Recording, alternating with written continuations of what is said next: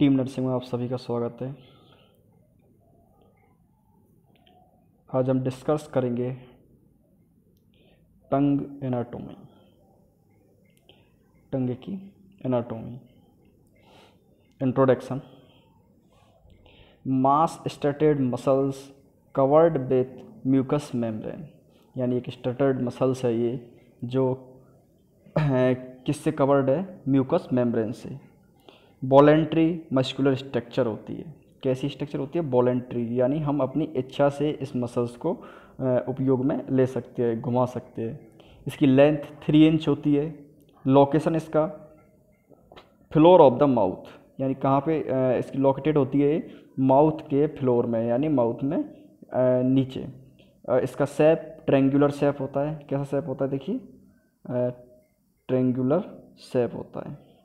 इसके अलावा जो इसका अटैचमेंट है यानी ये कहाँ अटैच होती है? ये with mandibles and hyoid bone कौन सी बोन हायर्ड बोन जो गले में होती है हायर्ड बोन वहाँ पर ये अटैच होती है। किसके साथ? मैंडिबल्स के साथ में। और मेनली ये जो अटैच होती है वो हायर्ड बोन से अटैच होती है। नेक्स्ट इसके कुछ फीचर्स जानने की हम कोशिश कर, करते हैं। जनरल हायर्ड बोन इधर होती है यहाँ नीचे? इसकी जो सरफेस है, इसके अंदर टू सरफेस होती है सुपीरियर सरफेस और इन्फीरियर सरफेस यानी एक ऊपर वाला पार्ट एक नीचे वाला पार्ट ठीक? सुपीरियर सरफेस डिवाइडेड होता है थ्री पार्ट्स में एंटीरियरी पोस्टीरियरी और base anteriorly two third part जिसको ओरल पार्ट कहते हैं. एंटीरियर यानी आगे की साइड में जो पार्ट है, उसको हम कौन सा पार्ट कहते हैं? ओरल पार्ट जैसे यहाँ पर दिखाया गया है, इसको हम कौन सा पार्ट कहते हैं? Oral part anteriorly two third part posteriorly one third part होता है उसको कहते हैं फेरेंजियल पार्ट फेरेंजियल पार्ट क्यों कहते हैं? क्योंकि वो फेरेंग्स की साइड में, इसलिए उसको कौन सा पार्ट कहते हैं? फेरेंजियल पार्ट इसके अलावा इसका नेक्स्ट क्या होता है? बेस रूट इसके जो जनरल्स फीचर्स है, उसके बारे में थोड़ी सी जानकारी देखते हैं.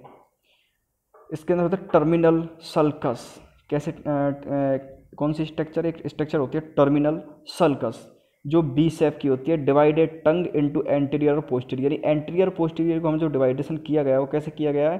टर्मिनल सल्क के द्वारा किया गया है। इस स्ट्रक्चर को क्या कहते हैं? टर्मिनल सल्क जो इसमें दिखाया गया है ब्लैक कलर का बी सेप इसको क्या कहते हैं? टर्मिनल सल्क और इसका फोरामैन सेक्कम इसका नाम है। नाम क्या है इसका? फोरामैन सेक्कम जो apex of sulcus marked by ये पेट फोरामैन सेक्कम क्या कहा गया है इसको? फोरामैन शेकम बी सेप की एक स्ट्रक्चर इससे क्या होता है? टर्मिनल सल्क कहते हैं इसको, इससे क्या है? डिवाइडेड टंग एंटीरियर और पोस्टीरियर पार्ट में। सुपीरियर सरफेस की हम बात करते हैं, यानी ऊपर वाली सरफेस इसमें देख सकते हैं, ये सुपीरियर सरफेस है, इसके पीछे anterior posterior surface oral part anterior two third part यानी आगे का टू थर्ड पार्ट होता है। उसकी हम बात करते हैं। Compromise of a sorry comprise of a middle floor क्या होता है इसमें? मिडिल में एक एक कंप्रेस स्ट्रक्चर होती है, इस तरीके से देखिए, नीचे धसी हुई, जिसको हम क्या कहते हैं? फ्लोरो क्या कहते हैं? फ्यूरो यानी मीडियन फ्यूरो इसको हम बोलेंगे। नेक्स्ट इसकी जो सरफेस होती है, यानी ऊपर से कैसी होती है? रफ यानी ये खुरदरी होती है। टंग ऊपर से कैसी होती है? खुरदरी होती है। ठीक है? Rough surface due to presence of papillae किसकी वजह से? पेपिले यानी कि स्ट्रक्चर होती है। पेपिले आगे डिस्कस करेंगे पेपिले के बारे में। प्रोटीन की बनी हुई स्ट्रक्चर होती है, जिसको क्या कहते हैं? पेपिले जो एपिथेलियम लेयर्स के ऊपर होती है। Surrounded by anterior and lateral teeth इसके जो एंटीरियर और साइडों में क्या होते हैं? टीथ होते हैं। इसके आगे भी टीथ होते हैं और साइडों में भी टीथ होते हैं। मोबाइल पार्ट ऑफ़ टंग और ये मोस्ट मूवेबल पार्ट होता है। मोस्ट मूवेबल मसल्स होती है बॉडी के अंदर। सुपीरियर सरफेस की हम बात करते हैं। फेरेंजियल पार्ट जो पोस्टीरियर होता है वन थर्ड उसको कौन सा पार्ट बोलते हैं? फेरेंजियल पार्ट क्यों? क्योंकि वो फेरेंस की साइड में है। ठीक है? Lies beyond the sulcus terminalis इसके अंदर क्या होते हैं? जो कहाँ से है ये? सल्कस टर्मिनल्स देखिए, ये स्ट्रक्चर यहाँ पे देख रही है आपको। जो बी शेप है इसके ऊपर में एक एक जो स्ट्रक्चर देख रही है, इसको क्या कहते हैं? Sulcus sulcus terminalis sulcus terminalis no papillae यानी इसके अंदर पेपिले या तो होते नहीं हैं, या बहुत कम होते हैं। इसकी सरफेस पर पोस्टीरियर सरफेस पर, ठीक है? इस पर होते हैं लिम्फेटिक नोड्स और लिंगुअल टॉन्सिल्स यहाँ पर दिखाया गया लिंगुअल टॉन्सिल्स को, ये जो स्ट्रक्चर दिख रही है आपको दाने दाने जैसी, ये लिंगुअल क्या है? टॉन्सिल्स है। Contribute to the anterior wall of oropharynx और इसका कुछ भाग कुछ भाग जो किसमें कॉन्ट्रीब्यूट करता है? ओरोफेरेंक्स में भी कॉन्ट्रीब्यूट करता है। ओरोफेरेंक्स हम फेरेंक्स के बारे में पढ़ चुके हैं ओरोफेरेंक्स कौन सा पार्ट है? जैसे यहाँ पर दिखाया गया है नेजोफेरेंक्स ओरोफेरेंक्स और हाइपोफेरेंक्स बेस ऑफ़ टंग टंग के बेस के बारे में बात करते base of tongue is far back and is bottom of tongue यानी ये टंग टंग का क्या होता है? बॉटम होता है। जो बेस है, वो क्या होता है? बॉटम होता है, यानी सबसे नीचे का ये पार्ट होता है। Next, contribute to the front wall of pharynx. यानी फेरेंग्स का जो फॉरेंटल यानी आगे का जो बाल है, उसको बनाने में भी ये कंट्रीब्यूट करता है। कौन कंट्रीब्यूट करता है? टंग का बेस। इसके अलावा movement can affected the diameter of pharynx. जो फेरेंग्स का डायमीटर है, वो टंग का मूवमेंट अफेक्ट करता है। कैसे अफेक्ट करता है? कि जब बैन इट पुश फॉरवर्ड यानी जब टंग को क्या करते, आगे की साइड करते हैं तो जो फेरेंग्स है, उसका डायमीटर बढ़ जाता है। और जब इसको बैकवर्ड कर दे तो उसमें क्या, वहाँ पे क्या होता है? कॉन्ट्रेक्शन होता है और जो डायमीटर है, वो घट जाता है। पेपिलेस यहाँ पर बहुत कम होते हैं। पेपिले क्या है? डिस्कस करेंगे। इन्फीरियर सरफेस की हम बात कर लेते हैं, यानी इसके नीचे का पार्ट टंग के नीचे का पार्ट नीचे के पार्ट की हम बात करते हैं covered by smooth mucous membrane किससे कवर्ड होता है? स्मूथ म्यूकस मेम्ब्रेन से कवर्ड होता है इन द मिड लाइन और इसके बीच में म्यूकस फोल्ड होता है. म्यूकस का क्या होता है? फोल्ड होता है, जिसको हम कहते हैं फेरनुलम क्या कहते हैं? फेरिन्यूलम ठीक है? Connect the tongue with the floor of the mouth और जो फेरिन्यूलम होता है उस जो टंग और जो माउथ का फ्लोर है दोनों के बीच में जो स्ट्रक्चर होती है, उसको क्या कहते हैं? फेरन्यूलम और फेरन्यूलम क्या होता है? कुछ नहीं, जो म्यूकस है, उसका एक फोल्ड होता है। Lateral to frenulum deep lingual vein यानी जो फेरिनो फेरिनुलम है, उसके लेटरल में, यानी उसकी साइडों में डीप लिंगुअल बैन होती है, जिसको हम आराम से देख सकते हैं, ठीक है? Lateral to the lingual vein mucosal fold होते हैं। देखिए, वापस समझिए, फेरिनुलम के लेटरल में क्या होती है? डीप लिंगुअल बैन होती है और वो उन बैनों के पास में ही म्यूकोजल फोल्ड होते हैं जिनको पीलिका फिम्ब्रिटा कहते हैं। क्या कहती है? पीलिका फिम्ब्रिटा कहते हैं। कैसे? देखिए, ये बीच में क्या है, जिससे जिससे टंग यहाँ पे जुड़ी हुई है फ्लोर से, इसको कहते हैं फेरिन्यूलम देख सकते हो आप, इसको क्या कहते हैं? फेरिन्यूलम आप अपनी टंग को भी ऊपर करके इसको देख सकते हैं, आराम से सीन होता है। इसके पास में ही ये दिखती है क्या हमें लिंगुअल बैन। आपको डार्क डार्क लिंगुअल बैन दिख रही है। इसके पास में जो म्यूकस फोल्ड होता है, इस म्यूकस फोल्ड होता है, इस नेक्स्ट सेकंड ये है दिखाया है जो म्यूकस फोल्ड है, इसको कहते हैं पीलिका फेम्ब्रेटा। क्या कहते हैं? पीलिका फेम्ब्रेटा। पेपिली क्या है? इनके बारे में बात करते हैं। Indentation of the any structure in the overlying epithelium is called papillae यानी इपिथेलियम के ऊपर भी कोई, ऊपर जो स्ट्रक्चर होती है, उसको पेपिले यहाँ पे कहा गया है। Superior surface of the tongue यानी ये कहाँ पे होता है? Superior surface of the tongue पे। कवर्ड बाई न्यूमरस पेपिले जो जो टंग की सुपीरियर सरफेस होती है उस पर बहुत सारे पेपिले होते हैं। ठीक है?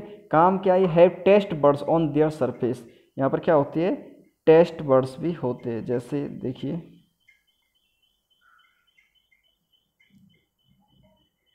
ये पेपीले कई प्रकार के होते हैं। अलग अलग दिखाए गए, चार प्रकार के होते हैं। Type of papillae vallates circumvallate papillae filiform papillae form papillae और फॉलिएट पेपिले चार प्रकार के होते हैं। ये देखिए, इस प्रकार के स्ट्रक्चर इनको क्या कहते हैं हम? पेपीले इपिथिलियम लेयर से भी एबोव होती है, यानी उसके भी ऊपर होती है। इसको क्या कहा गया है? Papillae clear next taste buds की हम बात कर लेते हैं। Sensory receptor for taste taste में कौन काम आते हैं? सेंसरी रिसेप्टार्स काम आते हैं, ठीक है? The sensation of taste is called gustation यानी जो टेस्ट का जो सेंसेशन है उसको हम जो हमें आता है, उसको हम क्या कहते हैं? गेस्टेशंस ठीक है? इसके अलावा taste buds are located on the surface of papillae जो टेस्ट वर्ड्स है, वो कहाँ पर लोकेटेड होते हैं? वो जो पेपिलेस की सरफेस होती है, वहाँ पर क्या होते हैं? लोकेटेड होते हैं फिलीफॉर्म पेपिले को छोड़ के। इलेक्ट्रॉन माइक्रोस्कोप है, ये टेस्ट बर्ड की, कुछ इस प्रकार के होते हैं टेस्ट बर्ड्स। देखो हम देख सकते हैं, कुछ इस प्रकार के क्या होते हैं, टेस्ट बर्ड्स, जिनसे हमें क्या आता है, टेस्ट आता है। Taste buds, for taste sensation, recently a fifth basic taste has been added. देखिए कौन कौन से टेस्ट होते हैं, सौर, यानी खट्टा स्वीट मीठा साल्टी नमकीन और बाइटर्स एक बाइटर्स कैसा टेस्ट होता है? थोड़ा अजीब टेस्ट होता है। And the recently add umami ये अभी ऐड किया गया उमानी कौन सा? उमानी उमानी क्या होता है? देखिए उमानी जो टेस्ट है, जैसे बर्गर वगैरह खाते ना बर्गर खाते समय हमें एक टेस्ट आता है। उस टेस्ट को कहते हैं उमानी टेस्ट कौन सा टेस्ट कहते हैं? उमानी टेस्ट क्या है? Umami taste umami taste is a form Japanese word which means pleasant savoury taste कैसा savoury taste human tongue has a glutamate receptors which is the source of umami flavours यानी पर ग्लूमेट receptors present होते हैं। तो ये जो उमानी test है उमानी flowers है, उसको भी क्या कर सकते टेस्ट कर सकते हैं। क्योंकि ना इकेडा जापानी scientist proposed it existence in 1908 this taste is mostly found in fish curd देखिए, कहाँ कहाँ मिलता है ये टेस्ट कर्ड में फ़िश में मीट्स में मशरूम में और चीज़ में और स्पिनेच में। इन सब में ऐसा एक टेस्ट आता है, इसको क्या कहते हैं? उमानी टेस्ट अब याद रखिए बर्गर के अंदर से एक टेस्ट आता है अलग तरीके उसको उमानी टेस्ट कहते हैं। कुछ इंटरेस्टिंग फैक्ट हम जान लेते हैं, जो वुमेन होती है। शॉर्टर टंग होती है उसकी देन मैन यानी मैन की टंग थोड़ी सी बड़ी होती है, बजाय वुमेन की. ब्लू व्हेल होती है, उसकी टंग एनिमल्स के अंदर सबसे लार्जेस्ट टंग होती है. चौवन सौ एस उसका वेट होता है. इसके अलावा about half of all bacteria in your mouth live on your tongue यानी माउथ के अंदर जितनी बैक्टीरिया पाई जाती है, उनमें से आधे तो टंग पे ही होते हैं. आधे तो कहाँ पे होते हैं? टंग पे ही होते हैं। Tongue heals faster than any part of the body और जो टंग होती है, वो बॉडी में और अगर एक साथ में टंग में और और कहीं दो जगह अगर चोट लगे तो सबसे जल्दी जो सही होगी वो टंग होगी। बहुत जल्दी हील होती है ये। ठीक?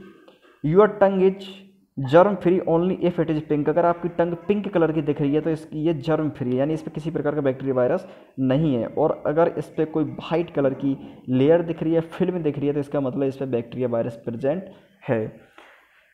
The tongue has no bones यानी टंग बोन नहीं होती है but is strong enough to break a heart लेकिन किसी का दिल तोड़ने के लिए ये काफ़ी होती है। So be careful with your word इसलिए किसी से बोलते समय टंग से अपने बर्ड्स को मेंटेन करके बोले। वापस पढ़िए, the tongue has no bones, tongues bone नहीं होती है। What is strong enough to break a heart? लेकिन किसी का हार्ट तोड़ने के लिए ये काफ़ी होती है इसलिए कुछ भी बोले so be careful with your words next हम बात करते हैं muscles of the tongue tongue के अंदर मसल्स होती है, दो प्रकार की एक्सटेंसिक मसल्स और intrinsic muscles the tongue is divided into two heavy by a median septum and the muscles of each half consist of intrinsic and extrinsic muscles therefore each muscles occurs in pairs यानी इसमें जो extrinsic और intrinsic muscle है, दोनों muscles किसमें होती है? Pairs में होती है।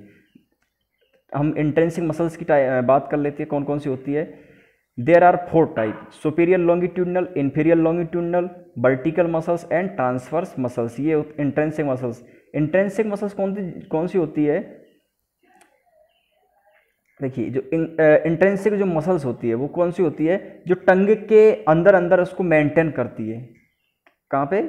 अंदर अंदर उसके सेप्टम्स वगैरह, उन सबको क्या करती है? मेंटेन करती है इंट्रेंसिक मसल्स और इसके अलावा जो एक्सटेंसिक मसल्स होती है, वो आउटसाइड से maintain the this muscles take origin from the part of outside यानी इसका ओरिजिन कहाँ से होता है एक्सटेंसिंग का? आउटसाइड से होता है, ठीक है? टंग के।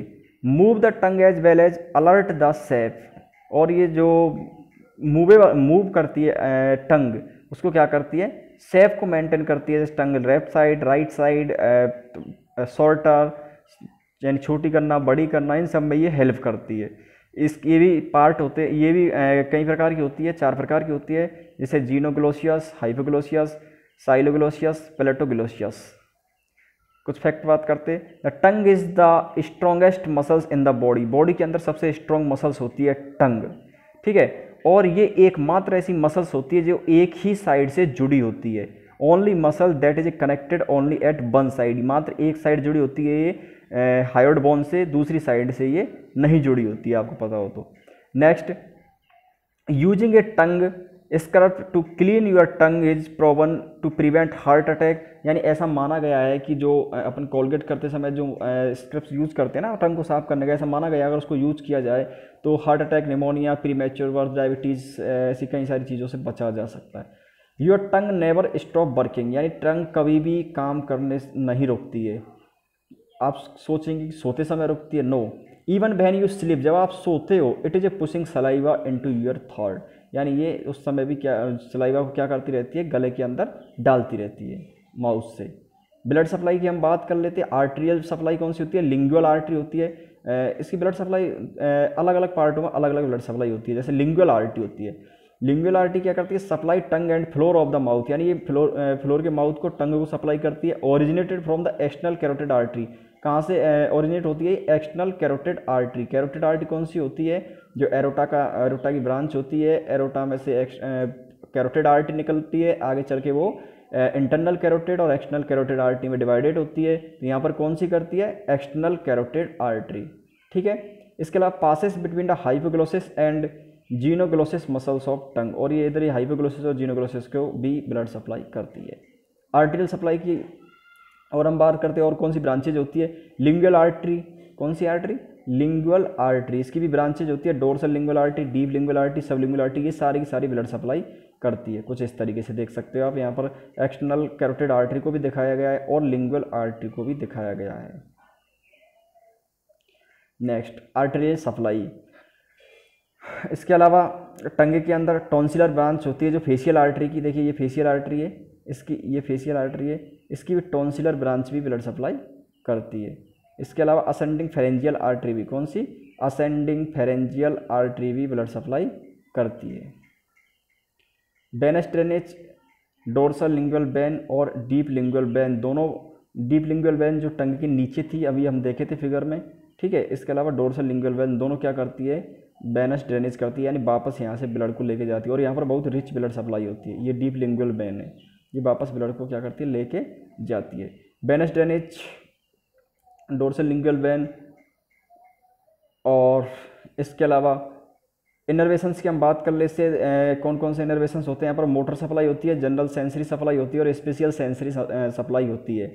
मोटर सप्लाई, यानी नर्व सप्लाई की हम बात कर रहे हैं। मोटर सप्लाई ये क्या काम करती है? ये टंग को मूवमेंट करवाने के लिए होती है। जनरल सेंसरी सप्लाई है, यानी से टच जो जनरल सेंसेशंस है, उन पर ये वर्क करती है। इसके अलावा स्पेशल सेंसरी सप्लाई यानी जो टेस्ट वगैरह और उन सब के लिए होती है। ये सब क्या, कौन सी सप्लाई होती है? नर्व सप्लाई होती है इनर्वेशंस जैसे मोटर सप्लाई की हम बात करते हैं। All extrinsic and intrinsic muscles are supply by the hypoglossals nerve याद रखना, ये कई बार पूछा जाता है हाइपोग्लोसियल नर्व ठीक है? ये सब क्या, ये हाइपोग्लोसियल नर्व क्या करती है? मसल्स को मोटर सप्लाई करती है। मोटर सप्लाई मतलब ये मूवमेंट करवाने के लिए सप्लाई करती है। ब्रेन से मैसेज लेके आती है हाइपोग्लोसियल्स नर्व इसके अलावा बैगस नर्व भी यहाँ पर सप्लाई करती है।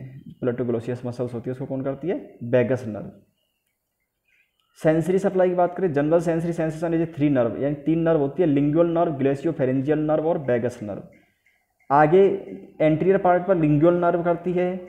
उसके अलावा पोस्टीरियर पर ग्लेसियो फेरेंजियल करती है और पोस्टीरियर के जो मोस्ट पीछे का और पार्ट है, उस पर बेगस नर्व करती है। स्पेशल सेंसरी सप्लाई की हम बात करें यानी स्पेशल सेंसेशन के लिए कौन कौन सी है? तो कोर्डा टिम्फेनी फेशियल नर्व की है कोर्डा टिम्फेनी जो टेस्ट के लिए सेंसेशन के लिए two third anterior two third पर सप्लाई करती है कोर्डा टिम्फेनी इसके अलावा ग्लेसोफेरेंजियल की हम बात करें तो ये भी टेस्ट के लिए सप्लाई करती है। पोस्टीरियर पर वन थर्ड पर और बेगस नर्व फ़ंक्शंस की बात करें, क्या फ़ंक्शंस होता है? टंग का डेगुलेशंस इसके अलावा taste sensations speech production breastfeeding self cleansing और सिस्टम एंड मेस्टिकेशंस ठीक है? यानी ये निगलने में सहायता करता है टेस्ट सेंसेशन में सहायता करता है टेस्ट आता है, इसके द्वारा हमें इससे हम बोल पाते हैं स्पीच बच्चा इससे ब्रेस्ट फीडिंग कर पाता है, ये अपने आप को क्लीन रख करने का काम करती है और ये चबाने में भी हमारी हेल्प करती है। Next the tongue like a sharp knife kill without drawing blood यानी जो टंग है, एक शार्प चाकू की तरीके से होती है भाई। और बिना किसी ब्लड निकले, किसी को भी ये क्या कर सकती है? मार सकती है।